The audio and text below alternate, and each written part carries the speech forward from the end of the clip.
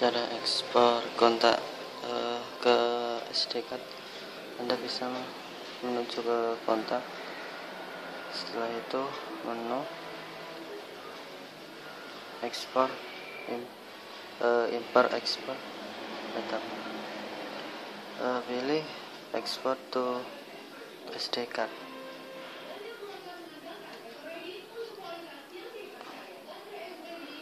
Tap OK untuk melihatnya maaf. Untuk melihatnya Anda bisa ke file.